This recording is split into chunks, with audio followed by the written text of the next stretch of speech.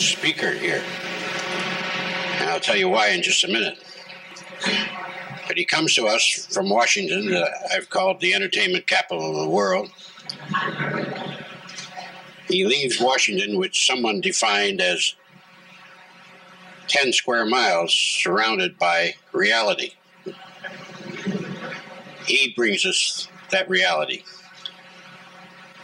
I said I was so pleased to see him as he left yesterday to fly to foggy Chicago.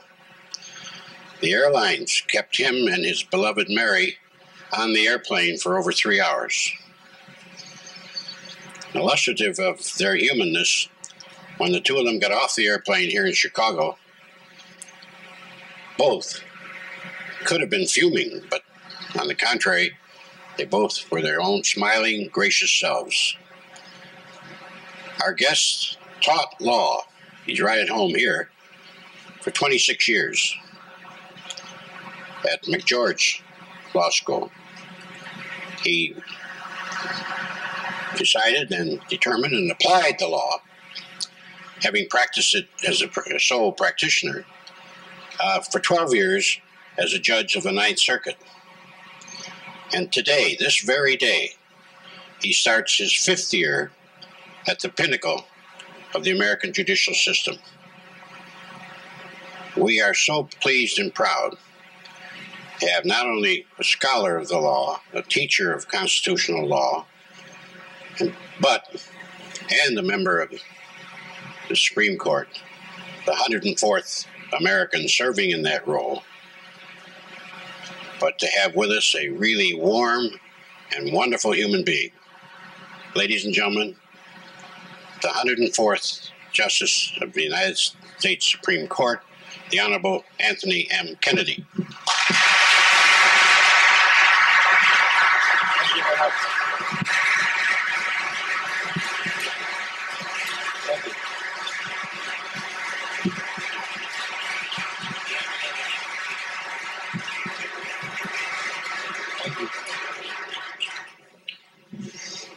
Thank you and good afternoon. I'm, um, I'm really not used to being tied down to microphones, but I understand that uh, you're putting this on tape or something like that. I was reading a trial transcript not long ago. It came from a state court, and it was an arraignment proceeding. And you could tell from some of the comment that this criminal defendant at his first arraignment appearance had on some outrageous costume. And he kept saying, The Lord is my attorney, the Lord is my attorney. And the judge went through reading him all of his rights, and finally the judge said, I'm going to appoint an attorney to represent you. He said, Oh, the Lord is my attorney. And the judge said, I, I know that. We're going to appoint you local counsel. so I see all the faculty and the trustees up here, so you can be my local counsel. Uh, the, the, dean mentioned that. Uh, I've been on the court now for five years. It, it doesn't seem that long. I, I had a uh, have a good friend who's a judge on the 11th Circuit Court of Appeals, and his career was somewhat like mine in that he went to the Court of Appeals directly from private practice. He hadn't been a district court judge. And he tells a story. He was on the bench about six months. And counsel was arguing before the three judge appellate panel. The submission was that the trial court had made a mistake in granting summary judgment. There was a trial, a triable issue of fact, according to the attorney. They wanted a reversal. So the attorney was just about through his oral argument. And he said, and it may interest the panel to know that this was a new district court judge. He'd only been on the bench three months.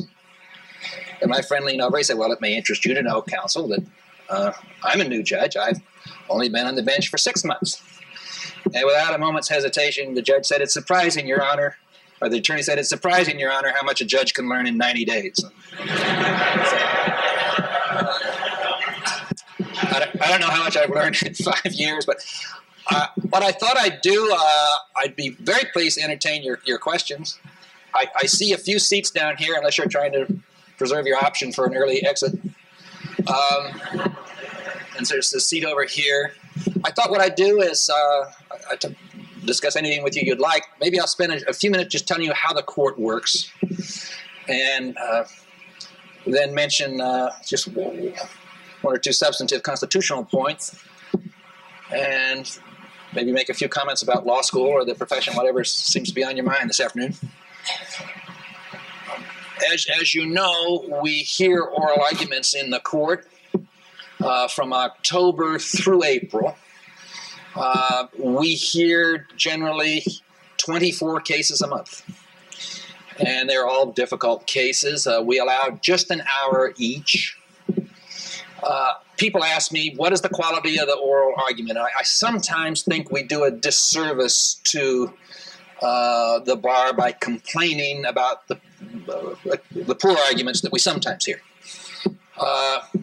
With just a half hour per side, the justices are keenly aware of the dynamic of that oral argument. Basically, uh, if, if you hear a, a, a, question being asked by the justice to uh, the attorney, the, the purpose of that question is to start a dialogue with the justice's colleagues.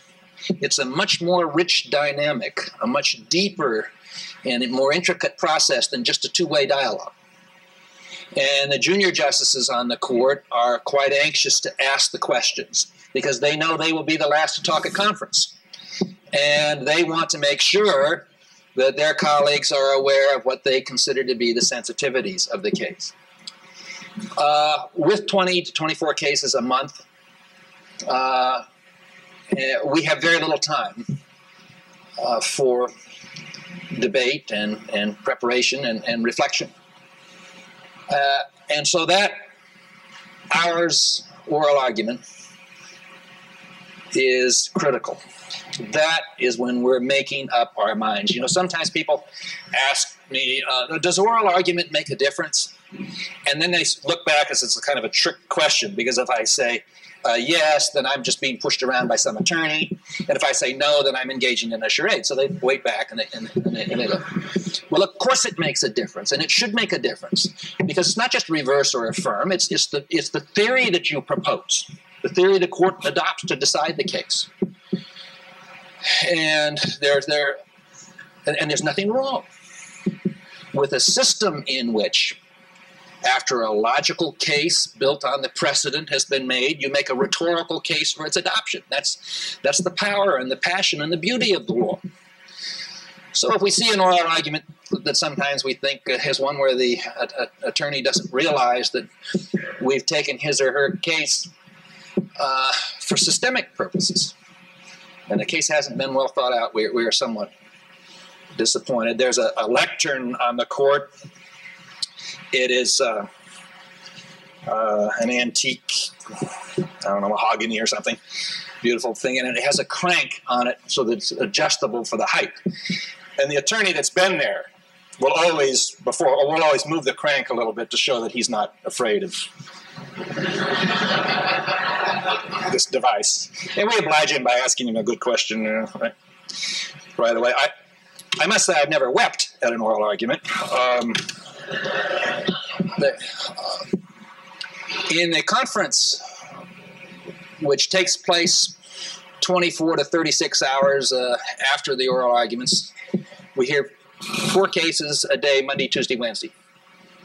Two cases in the morning, 10 to 12, two cases in the afternoon, 1 to 3, hour off for lunch, We're on an argument day, most of us have lunch together. Uh, so, with uh, 12 cases in a week. Uh, we have a tremendous amount of preparation, and we have to go into conference and vote. The Chief Justice likes the vote to be relatively fixed uh, so that he can assign the opinions and so that uh, he can move the court. Um, but there's nothing required about that. The conferences are much more collegial and uh, there's a much freer and more beneficial exchange of views than is commonly supposed. Uh, Justice Scalia and I are particularly strong believers in this process. And justices will say that their views are tentative and they want to wait to hear the whole discussion. I uh, used to teach night law school, uh, and my lecture was three and a half hours Uh, I competed with Monday Night Football for 26 years. and and I'm, I'm used to, to uh, standing while I'm, uh, talking while I'm standing. I, I never have gotten the right voice control or eye contact with sitting down. And there was a case in my first term and where I was the junior justice to speak last, and I was pretty sure this case would be four to four before it got to me, which I liked because I always had the attention of my audience. And I thought, you know, I really do have the theory of this case, and it's going to take me five, maybe even 10 minutes to explain. So I'm going to stand up like I used to in law school. I'll do a better job because I know I can maybe even convince some of the justices voted the other way, and we won't even come out five to four. It'll be six three.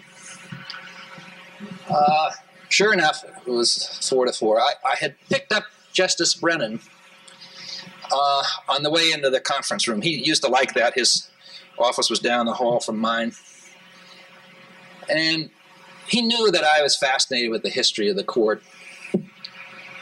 And somehow, before we walked into the conference room, we got on the subject of Felix Frankfurter. He said, Oh, yes, I, I remember Felix. He said, You know what he would do if there was a very important case? He would get up from his chair and stand and walk around the room. And he said, That drove me nuts. So I said, Thank you. And I've, kept my seat ever since. Uh, in the course of the opinion writing, uh, obviously there's there are many reasons for written opinions. Uh, not the least of which is a, it's a discipline on the thought of the writer. And there isn't a person in this room who hadn't sat down to write something, and the more they write, the worse it gets, and it's just plain wrong. And not a term goes by. But that this doesn't happen to one of us, each of us and we go to the chief and say that if he was the one that assigned the case and say, uh, Chief, I know you assigned me this case, uh, but it's just not working out. And the chief will be very disappointed, but he's gracious and say, Well, go ahead and circulate what you've got and see if the court agrees with it. So that's, so that's the writing process that, that we go through. Uh, I won't break down statistically for you our, our jurisdiction. Uh, well, I can tell you, uh, I guess there's about 30% criminal and capital cases. And then I would guess 45% special in, uh, industry or economic legislation, labor, railroads, banking, securities. Um, and matters of interest to the legal profession, evidence. Um, then another 10% administrative law, pure administrative law. That leaves just about 15% for constitutional cases. And of those, I think only maybe 10, 5 to 10% are matters of great public interest school busing, women's rights, uh, abortion, free speech. And there will always be some of those high visibility issues during the term. And in resolving those, we we should remember, I, I submit to my colleagues, um, that what we have with the Constitution, we, we, we have a Hamiltonian structure and a Jeffersonian Bill of Rights. There's some tension there. And that's not bad. The fact that the Constitution doesn't resolve anything, that the fact there is some tension, some play at the joints, is, is what makes it a, a document uh, that has been able to withstand the test of time. But the structural elements are ones that must not be forgotten. Uh, you know, there, I think, as a last count, uh, is your sound all right, Dean Markey? Is well, it won't stay up. You see, I, I have a lifetime job and I'm fighting for survival with this cord. There has that. All right. Um, remember that oh, at last count, uh, and this was two years ago, so it must have changed since. I think there were 160 constitutions uh, in the world, not not including our state constitutions. I mean, for national governments, and some of them were more eloquent than ours. Uh, but they're not worth the paper they're written on because there's no structure that makes it survive. If I had time, I'd, I'd ask you what you think are the structural elements in the Constitution. And after we played around for half an hour, you'd resolve on what I knew they were. And what they are is uh, separation of powers, checks and balances, federalism, and judicial review.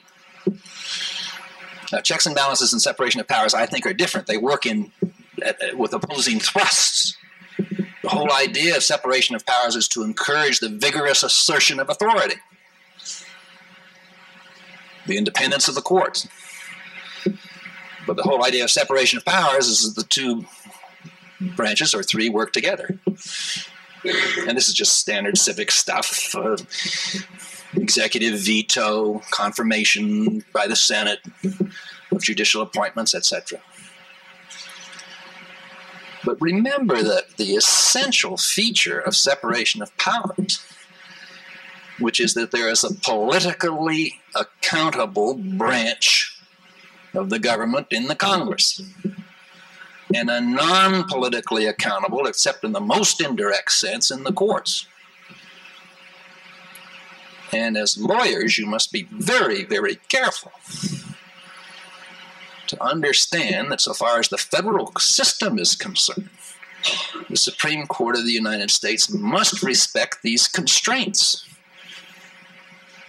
Now, you know, every time you see a confirmation proceeding of a district court judge or a circuit court judge, and of course, Supreme Court justices, a senator will say, uh, now, if you're confirmed, uh, will you legislate? And say, oh no, judge or senator, I won't legislate. I won't do that.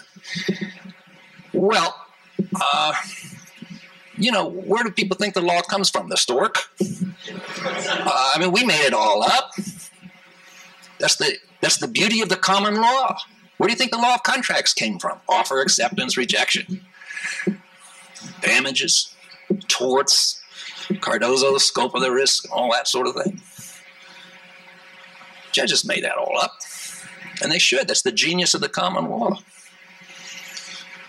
But that doesn't work with the Constitution. A constitutional judge in the Article 3 system doesn't have the power and the authority of a common law judge. And it's amazing how many people don't understand that. And you see it in all different kinds of manifestations.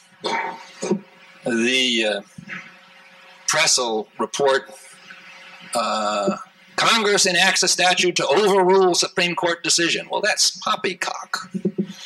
Congress is passing this, passing a statute because this old statute was broken, and we told them that.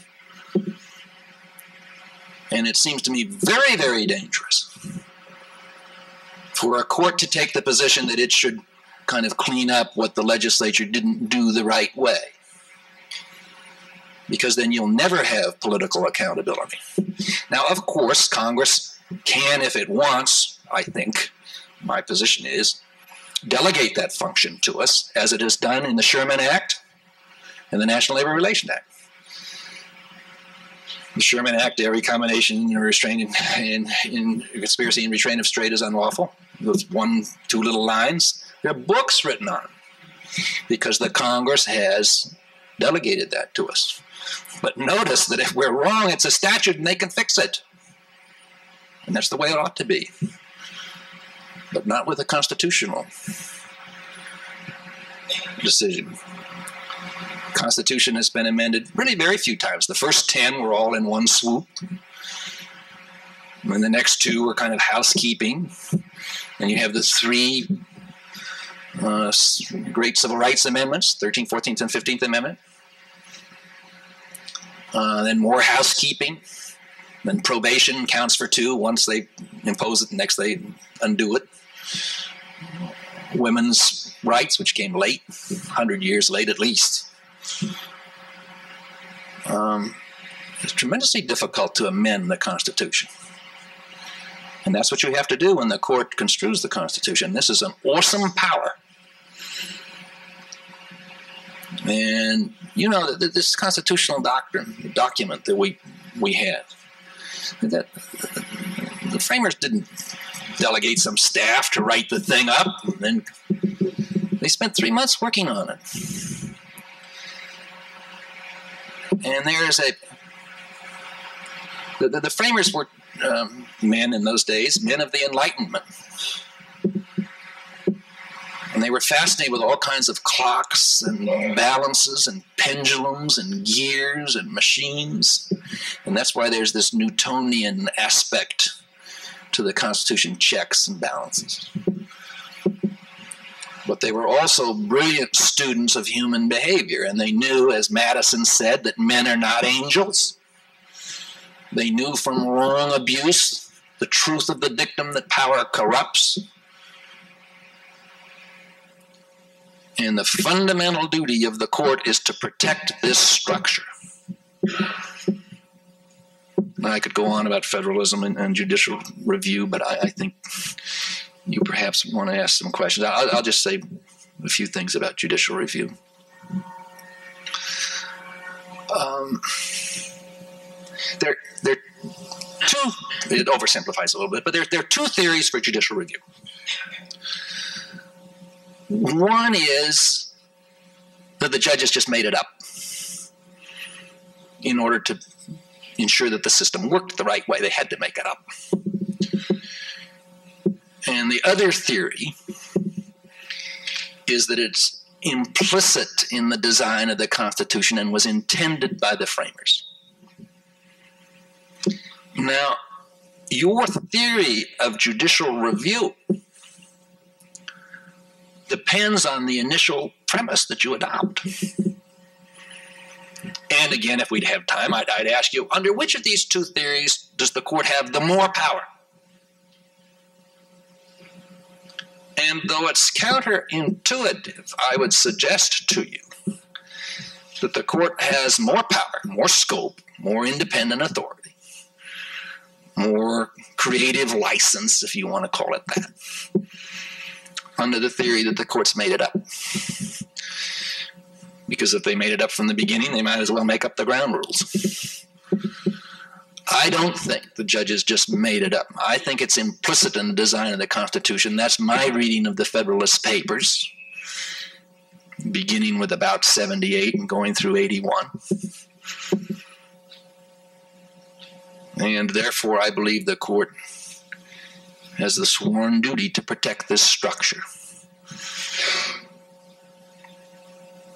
federalism we could talk about a lot. Um, it, it's ironic that federalism is the one novel contribution that the framers made to the science of government. They really knew about separation of powers. They could see it in England monarchy, House of Lords, House of Commons. They didn't have quite the right explanation for it because they justified it in England as an Aristotelian mixed government so that you had power, monarchy, property, lords, numbers, commons. Well, that wouldn't work in the new American idea of freedom. So the framers had separation of powers, but they went in search of a reason for it and the reasons were the one that I've given. Now, federalism was different. Federalism, the framers made up. And it's a brilliant but paradoxical theory that freedom is increased by having two governments instead of one. This, this, uh, this was a tremendous philosophic breakthrough. Sovereignty had always been thought of as an indissoluble core, something indivisible. I once had to give a speech to some patent lawyers and engineers, and I thought, oh, what am I going to talk about? So I asked, I asked, is the Constitution a patentable invention? And I said what the framers did with federalism was they split the atom of sovereignty. And it was that much of a breakthrough divide sovereignty between two governments. And it's something of an irony that the great contribution of the framers, federalism, has produced a system they would no longer recognize. And we don't necessarily need to bemoan that. That's just a fact. You know the reasons for it. There are many. The Civil War, uh, the recalcitrance of southern states over civil rights, the fact that we have a national economy with a national consciousness, the fact that we have global military responsibilities, the fact that we think of ourselves as one nation. All these are reasons for the change in federalism. I don't know if you still study a lot of the Commerce Clause cases in constitutional law. Basically, what that is, is a battle over federalism to see if the court could find lines, and they couldn't.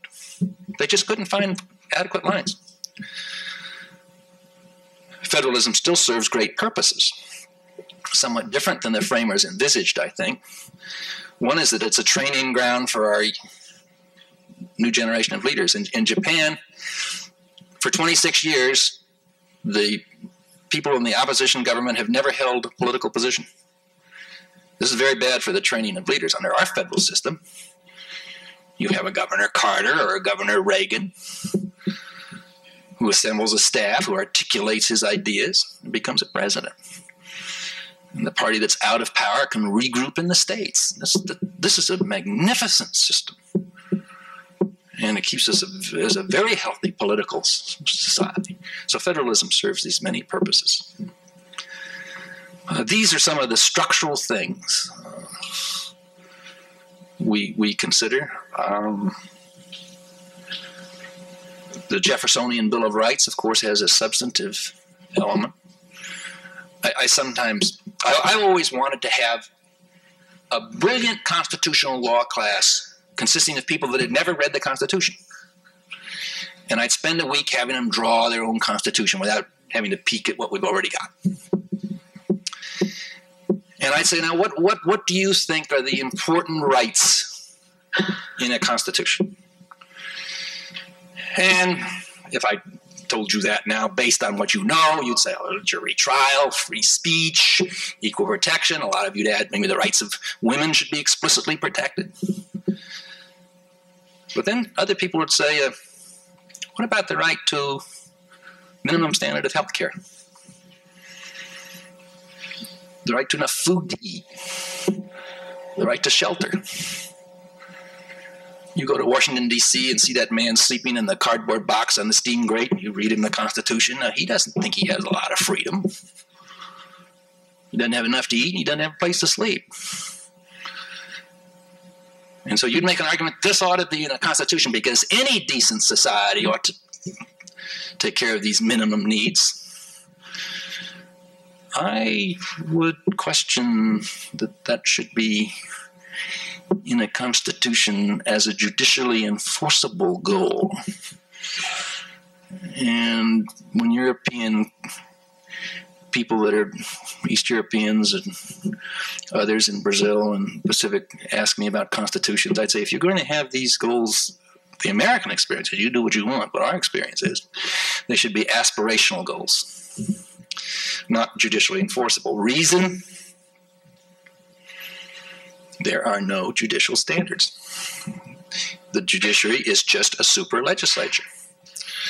And interestingly enough, I see in many of the new constitutions which have these so called affirmative rights that it has the perverse effect that because it's in the Constitution, the legislature thinks they don't have to address it.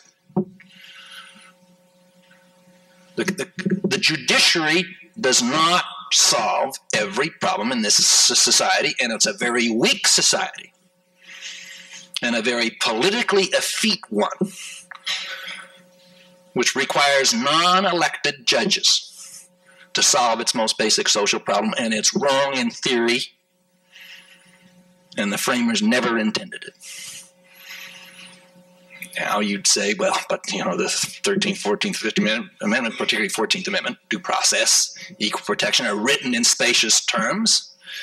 It was an empty vessel for judges to pour things in. You can't just shove it off all on the legislature.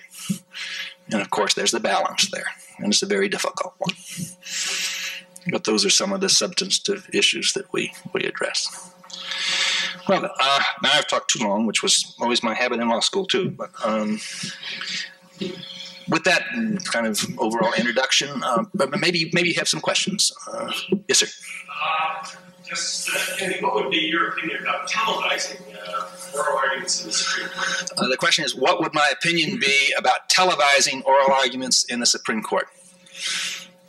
Uh, my position is that I think it's a close question, that so long as any of my colleagues object strongly, I will side with them. Um, we play to a packed house anyway. I don't think it would too much affect my colleagues. Uh, although Solicitor General Wade McCree said judges and attorneys are all like a casserole, there's a thin layer of ham. Um, uh, you might tend to play to the cameras a little. We might be concerned with what do they call it, the 30 second soundbite or something. I, I don't think so. We're too busy. We need the lawyers' help too much to play to the camera, but there's that fear. I, I do think that the idea of uh, an argument sh- should not be interpreted the way the press likes to interpret it as a debate, a Lincoln Douglas thing. A good oral argument can sometimes be like a quiet discussion of a doctoral thesis. And maybe that isn't all that ex- exciting. I uh, do think there's a dignity and a decorum in our courtroom that I would not like to see destroyed uh, so that it plays for a national audience. On the other hand, I have to acknowledge, uh, let's see, it was the Chief Justice and Justice White and I sat up on the bench, and some press people came in and showed us the new kind of cameras they have. You don't need special lights anymore. It's a very unobtrusive thing.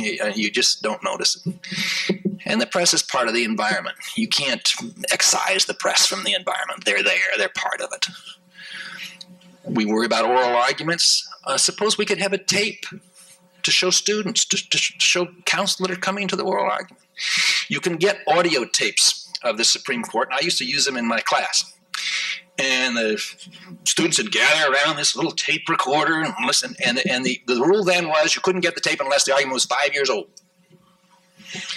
Uh, so what I had, I, I used um, some great arguments. Um, uh, the uh, press privilege case, Branzburg versus Hayes, and New York Times versus Sullivan, both tremendous oral arguments, different styles of oral advocacy, and it was a tremendous teaching device.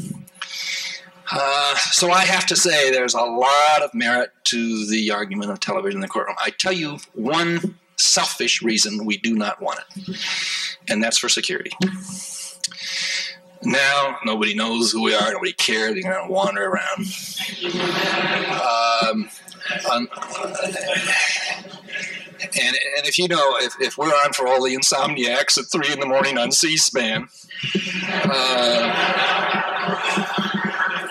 our, life would just be be miserable.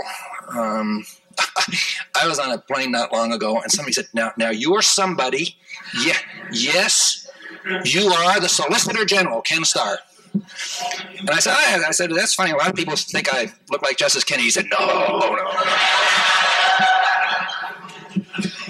but that, that that's a selfish reason. And, and maybe you say, look, at, look, at, I take the job, I've got to pay the price, and that that's a stuff. But um, I have to tell you that's a factor.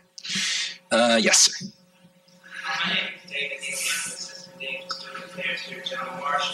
In Presley versus Etowah commissioner's report, the majority opinion, which basically stated that when a, a governmental agency alters the decision-making authority of an elected official, that does not affect only therefore does not come under Section 5 of the Voting Rights Act. And my question is, in light of that decision, how can Section 5 of the Voting Rights Act be used to monitor political majorities that change the, the political power of an elected office, thereby discouraging individuals from for office and encouraging others to voting. I, I, the, the, there was a, a question about uh, Presley versus Etowah County, in which we interpreted Section 5 of the Voting Rights Act to apply to voting and nothing more. Um, and, and the question is well, and what happened in Presley versus Etowah County was uh, there's a, uh, a commission in Alabama called the Road Commission.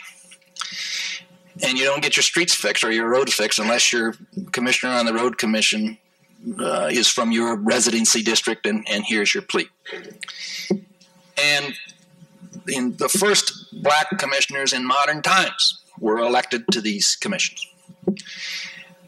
And when they were elected, then the commissions changed the rules. They said, well, we're going to change the way in which we allocate work. I'm going to change budget control. And the allegation was, and we accepted this as, as, as true uh, for the purposes of the case, that um, uh, this had the effect of diminishing the, the powers of, of, of, the voting of, of the newly elected uh, uh members. We found it very hard to say why this is any different from committee assignments in the state legislature. Uh, one in one of these cases, what had happened was the road commissioners uh, had engaged in a series of corrupt activities for about 20 years, and so they changed it so that a county engineer would make all the decisions, all responsible to the road commission. And uh, I wrote that in a true democracy, ultimately, any political decision uh, is the responsibility of the electorate. But I didn't think that, and nor did the court, that that meant that every one of these shifts between local and state governments should require approval pre pre clearance from the uh, attorney general, because as you know, the attorney general has to pre clear any change under the Voting Rights Act. Um, it's the cases. I think the rehearing petition maybe is not over, so I, I shouldn't get into it at great length. Um, but the opinion says uh, that we simply found no principled stopping point once you said that intergovernmental shifts, local versus state, state versus local, are covered by the Act. This happens thousands of times in every state jurisdiction. And if the in a particular um, jurisdiction the state legislature gives more power to a local entity, then that would require preclearance. And if it takes less power from the local entity, that would require preclearance. And we said we didn't think this was voting. The factor you think would be most important if you were to decide the rule of prior case in terms of and, and, and incidentally, let me just, and incidentally, uh, this is a good example of statutory construction. We don't condone what happened down there. We weren't born yesterday. We know that an unpopular person, unpopular by reason of their race, can be pushed around by their colleagues. But the question is whether or not this statute covered it. And if the statute is broken, Congress can fix it. If there's a violation of the Equal Protection Clause, as there well might be, there might be a 1983 action. Uh, but this idea that the press would tell you about this, oh, this right wing court does not stick up uh, for the system uh, and expand it to cure every injustice is, is just, in my view, wrong. my, my commission is to interpret the statute not to make it up. Now, let's get back to your question.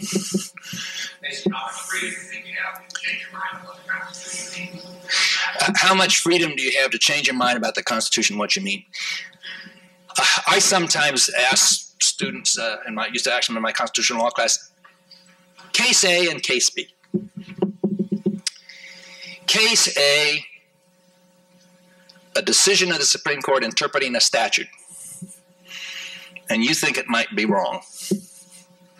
Case B, a decision of the Supreme Court interpreting the Constitution of the United States. And you might, and you think it might be wrong. In which of the two cases does the doctrine of stare decisis weigh more heavily? And you can argue that. In my view, it weighs more heavily, changes, is is less indicated when it's a statutory issue because Congress can change it. If we're wrong about the Voting Rights Act, they can change it. Uh, not with the Constitution.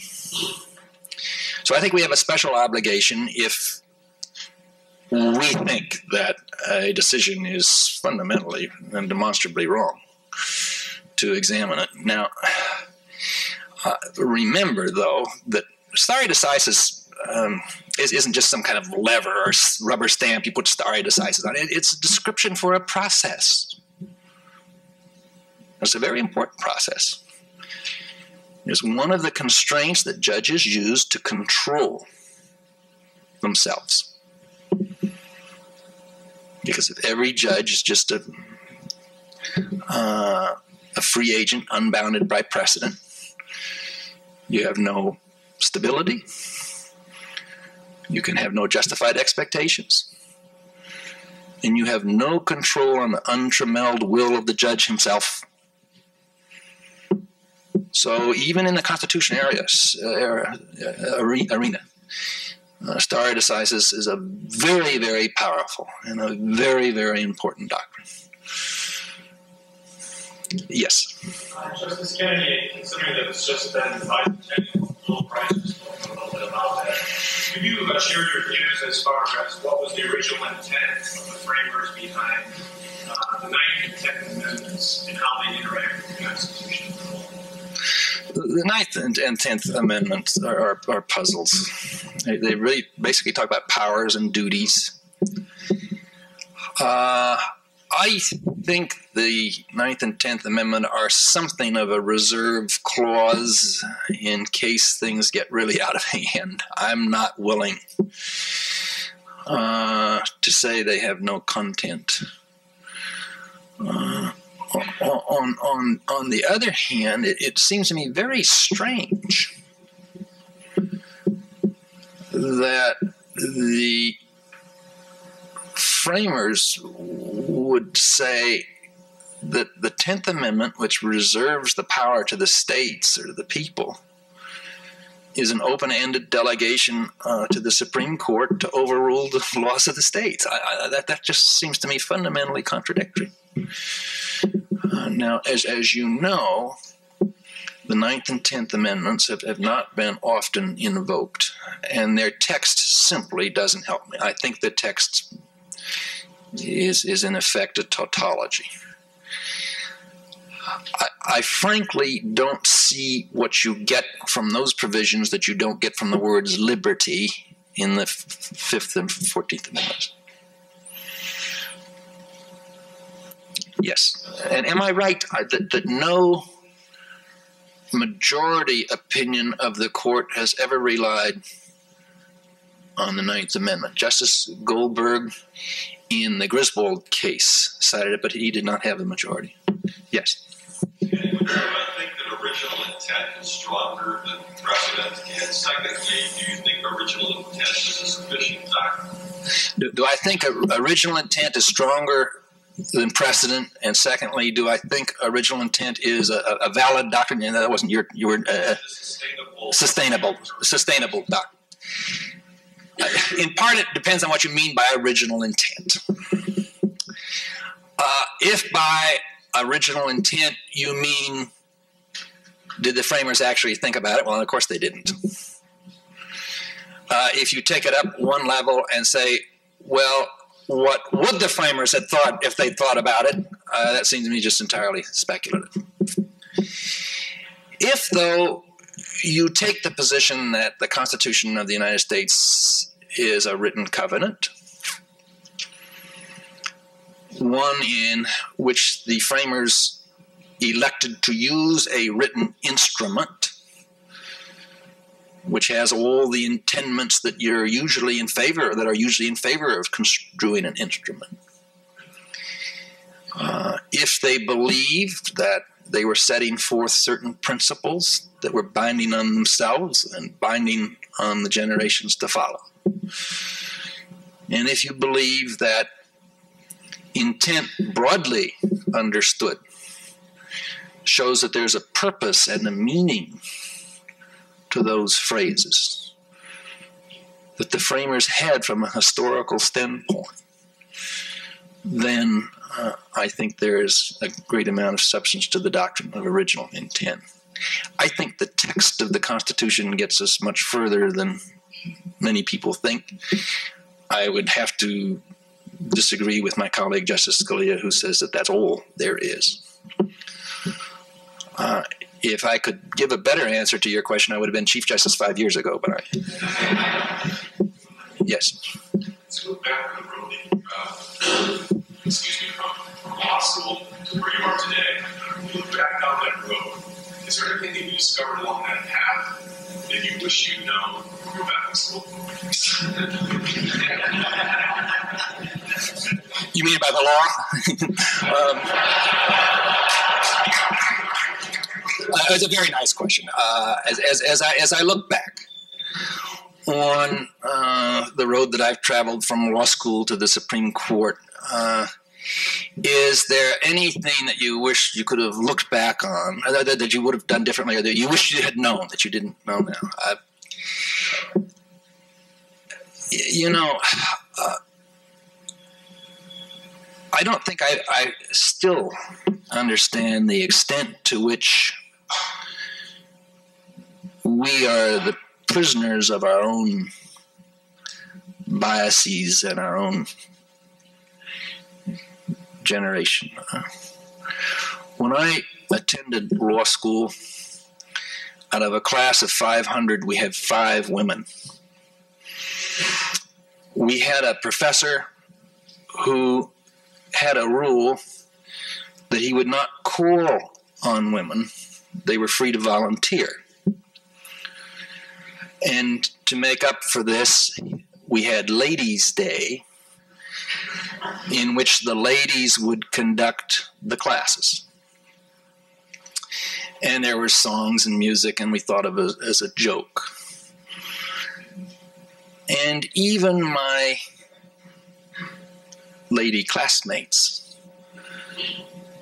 did not really think of it as a fundamental affront to their own human personality. Uh, and I thought I'd, and then I taught law school, and I could see the number of women increasing in every class. And I thought, well, I'm I'm with it now. Uh, you know, I, I, had this one little bias, but they're all over now. Now I'm completely free of biases and prejudices. Um, but I'd wish I'd known at an early age the extent to which you're blind to human injustice. And I still try to teach myself that, but we're, we're creatures of time. And that's why the case system is so important. That's why it's so important for you to see to somebody who's really been injured and to see what the law can or should provide for that recovery. And, and just as I think I'm free to bias, I, I run into something new. Now, no person, no judge is a completely clean slate, freed of all constraints and compulsions by reason of their background and their upbringing and their personal philosophy. But I wish I knew as a younger person, I, I wish I knew even better now the extent to which there are some neutral principles that I can't see. Yes, sir. Judge? This doesn't come with a permeably tangled atmosphere here, but problems all probably we have workers all over the country. Many, many places. Have here in Illinois, We?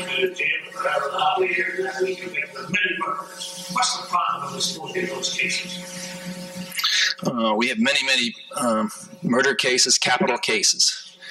Uh, mostly capital cases, which seem to go on for years and years. Uh, what's the trouble with disposing of those cases? Well, I, I think with uh, adjudication of capital sentences, and I was up till a quarter to five this morning with one that's in Texas. Um, I think you see the system at its best and at its, at its worst. You see it at its best in that we want to ensure that every argument has been examined, that every fairness has been extended, that every right's been respected. You see it at its worst because it goes on and on and on. And there is no justice if the state cannot enforce its criminal sanctions. And the reality and the awfulness of the capital sentence is that it must be enforced in a prompt manner or the state's objectives are not being met. Now you can you can argue about the morality of the death penalty, and I think reasonable people can disagree about that. But the system seems to lack confidence in itself. And it seems to me we must not lack the will to enforce the law. I sometimes think, Judge, that the American people as, as, as a whole, to the extent we can generalize, want the death penalty on the books, but they don't want to enforce it very often. I think they like that inconsistency. Uh, on the criminal system, generally, I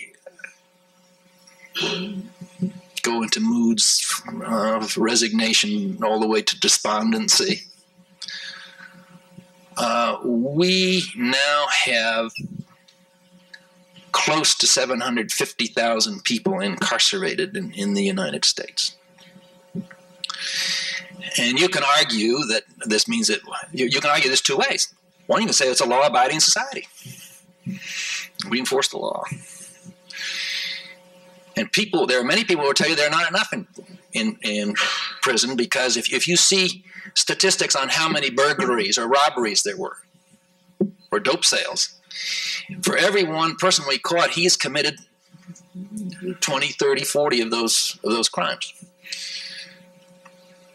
And under current philosophy, the pendulum swings between rehabilitation and, and uh, incarceration deterrence. Under current philosophy, the only thing we've come up with is preventative detention. This has serious consequences for our society, especially when you're going to find that young black males nationwide constitute uh, the biggest percentage of, of any group in any prison, state, or federal. You know, I simply don't have the answer to this. I suppose I'm, in a sense, in charge of the criminal system.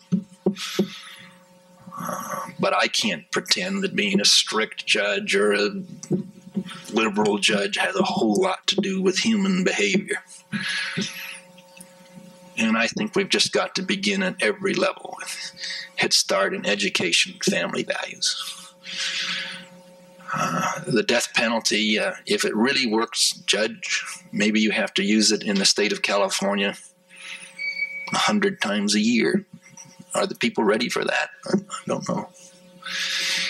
I have to tell you that this business of the last minute, fifth, sixth appeal uh, is, I think, a travesty of the system. We have the finest process for the adjudication of guilt or innocence that a system has ever devised. But you know what?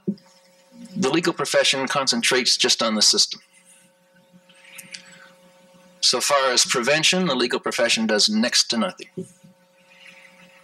So far as correction and rehabilitation, next to nothing. We'll throw away the key and go on to the next case. The pediatricians are really the leaders in telling us what child abuse it is and how it can be diagnosed. And I don't think the legal profession as a whole does nearly enough to address the problem of crime in the criminal system across the board. Uh, long answer, Judge. Yes. Uh, Justice, in light of what you said concerning death penalty and the uh, starting cycles, could you comment, sir, on the uh, recent opinion of the court uh, which uh, changed the law in respect to the victim impact uh, with reference to my comments on stare decisis and the criminal law generally, could I comment on the recent case in which the law changed the rule on victims' impact testimony? Um, the case was Payne versus Tennessee. Um, when does stare decisis apply with more force? When a rule is two years old, well, that, that one was Justice Powell When a rule is, let's say, six years old, uh, or when it's 60 years old. When does stare to apply with more force? When the rule came on the legal system with without a great deal of writing and thought and scholarship, or when it did. Those are the concerns I have with the Payne case. Um, I'm very troubled by victims' impact testimony. Uh, as a trial judge, um, I don't think I would have allowed a lot of the stuff that I've seen in, in these cases. Um, on the other hand, the victim's impact testimony is teaching us a lot about the system. I used to go to American Samoa all the time, where I, not all the time, it's so too far away, but um, I used to sit on the territorial court down there. And uh, there's a private dispute resolution system down there in which the transgressor sits in front of the victim's home with gifts.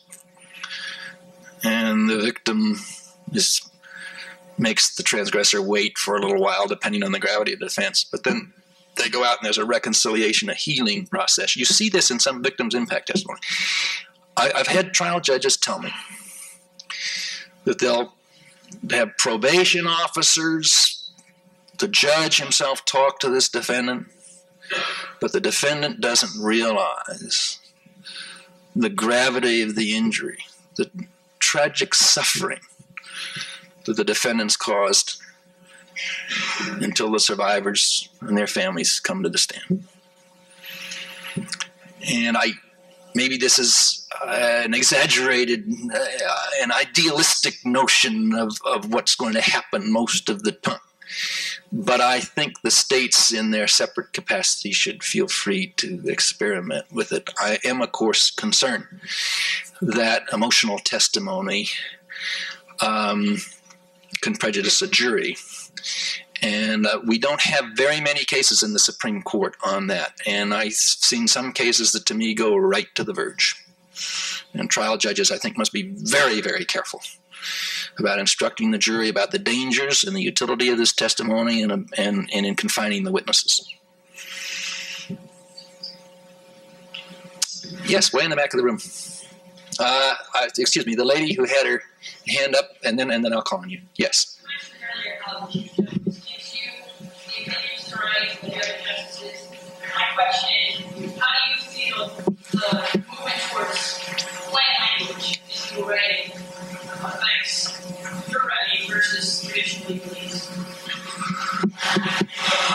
the Chief Justice uh, uh, assigns opinions. How do I feel that the tradition in the, the, the move toward plain writing uh, affects traditional legalese? Well, I, I, have a little trouble connecting the two questions because if the Chief Justice gave all the opinions to the best writer, then I'd have too much work. um,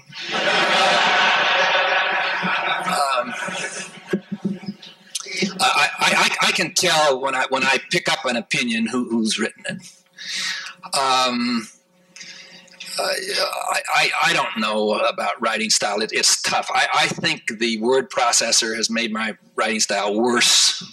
Uh, if I get in real trouble, I have to go to a legal pad. Uh, I used to tell my students that sometimes we, we talk about writing with clarity and lucidity. Sometimes the art in the law is to write with ambiguity. And this includes contract negotiations. Uh, sometimes the parties simply cannot agree on some very basic issue, but they want a, to be bound nonetheless. And that's a real lawyer's art. And of course, we're not trying to hide the ball, but we write. There's a lot of choices you have. You can be very fact specific, in which case you don't do the legal system any good. You can give very general rules of guidance, in which case your chances of error are great, or you can do something in between. Uh, I, I, think lawyers have always and judges have always had a bad rap on their poor writing style. I, I think lawyers are, are, are excellent. Um, read the brief and read the closing argument in um, the jury preemption case Edmondson versus Leesville Concrete. I, I can't do justice to the argument, but in closing, the petitioner's counsel said uh, some uh, men had been excused from the jury by reason of their race, they were black.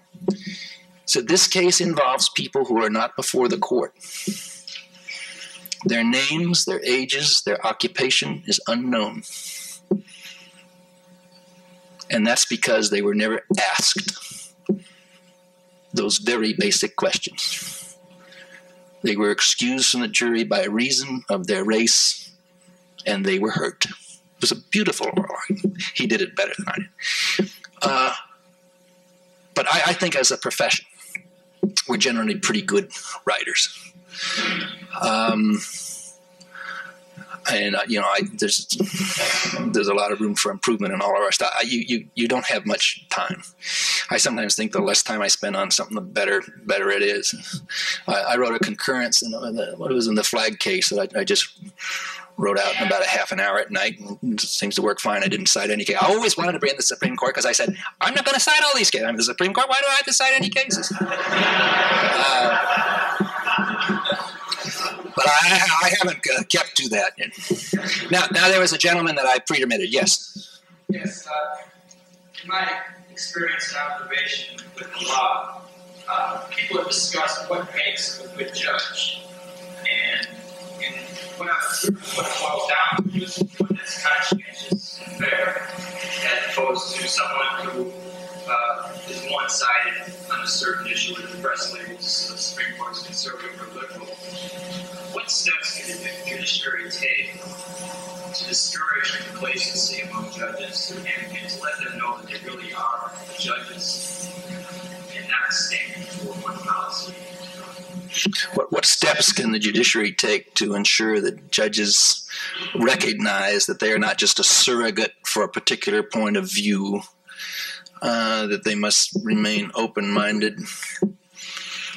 Uh, I'm not a guru on, on judicial selection. Uh, I think that the federal system has been tremendously fortunate. Uh, in the kind of judges that we've been able to recruit to serve. I was very concerned uh, in the last five to ten years uh, that we would not get really fine people to be on the federal bench. When I was growing up in Sacramento, the two finest attorneys in town, with the exception of my dad, were on the bench, on the federal bench. And they went on at the age 45 or 50 to cap off a great career. With problems of security, I mean personal security, um, income, although that's been partially mitigated, uh, financial disclosure, publicity, um, the isolation that it imposes on you in your own community, your own society. Is I was concerned that it's difficult to get people to serve on the federal bench. But I've had the pleasure of uh, lecturing at what we call the Baby Judges School. It's the Federal Judicial Center's introductory three week course for new judges. new district judges from around the United States. And I am so inspired by the idealism and the quality and the commitment of these people. I, I can't complain about young judges because I was one, still am maybe. Um, I, but I, I do think administrations have to be careful about appointing judges at a very young age. I think you should not appoint a judge until the judge knows who he or she is. Uh, and if you appoint a person too young, I'm not sure they know that. Uh, now, of course, there are exceptions, and there should be balance, and we should have youth and vitality and so forth. But this idea that we have to appoint circuit judges uh, who are in their mid 30s, uh, I, I, think is I think is dangerous. Although at the district court level, the results have been just marvelous, and, and, and at the circuit court too, so far as that's concerned. We've been very fortunate in the federal system, and one, one reason is this screening process, this amorphous, unwieldy, awkward, half political, half principled, half legally principled process. Seems to work. But judges must always be on their guard. And uh, the thing I dislike most about what I do now is that I don't have a judge on some other court to tell me that I'm wrong. Although I have a lot of judges on my own court that do that. yes. How long does this go on? Don't these people have anything to do, Dean? Uh, let, let, let, me just say, what, what, what do you want to do here? Uh, well, I mean, how long? How long do you want to go? One, two questions. One question. The lady, the lady that was behind the gentleman. Yes. Um, I just wanted to go to your attention on current challenges and the potential discriminatory. Uh, folk might on peremptory challenges yes. and a potential discriminatory use during election. Um, yes. Two related questions. First is at Howard versus Ohio, the focus on the on the prospective juror. Is it possible that the court can object to it to respond to Secondly, the question is how far since Edmondson extend the principle to civil litigants and um, Hernandez potentially extended to ethnic minorities? How far do we go? Are we going, are we going down a slippery slope? Uh, good questions that we had to argue about in the opinion, and those opinions uh, leave all those questions open, and I, I really shouldn't commit myself. Uh, I, I, I, think, uh, and part of the reason is I don't know the answer. You know, I, I, just wanted to say um, that uh, when I'm here in your law school, um, that, that I hope you find law school in some respects, not all the time, an enriching process. Um, you know, in England, where they're so proud of their legal system, they, they don't have what we do. No, no country in the world does. And in part, we have it by design, in part by accident, in part by providence. But, but we have a system in which we have, as a condition of licensure, passing the bar, as a condition of graduation, getting your degree from here. The fact that you must know and master the entire extant legal tradition up to that point. The judge learned Marbury versus Madison and McCulloch versus Maryland, and you had to learn the same thing. But you also have to learn Powers versus Ohio and Edmondson and Leesville Concrete and the latest thing we say. And this is a formal tradition for transmitting our legal culture from one generation to the next. And I assure you, it is the envy of the world. You may think that you are overburdened, that you're busy, uh, that your professors are sometimes unfair. Maybe they are sometimes. Uh, believe me, you will not have the opportunity to reflect and to know and to understand the law and your own humanity with the degree of latitude that you do now once you leave this institution. I always used to tell my students, I, w- I was known, I think, as, as a very rigorous professor. And if the student hadn't read the case, I'd say, well, perfect. The judge hadn't read it when he wrote it either. So, uh, and uh, then I'd stay with that student and uh, try to show the student uh, that there is a formal structure of legal reasoning. Sometimes uh, people say, oh, we teach law students how to think. Well, any school does that. I mean, that's a presumptuous statement. Uh, we do teach you to think about very ordinary things in a very formal way.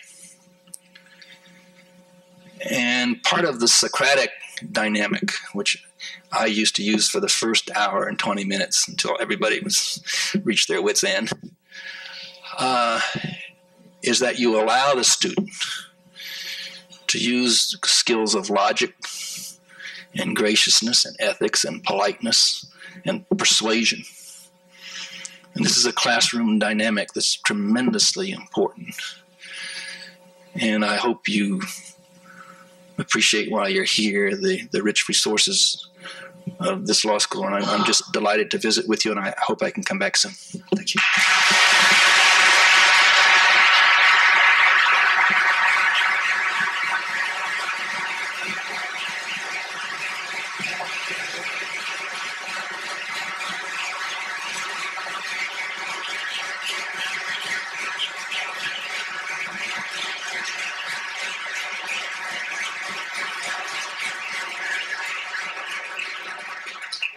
Mr. Justice, obviously you hate to stop that standing ovation, which is so richly deserved, and so many of the students who are uh, resisted going back to class in order to stay here. We want to thank you.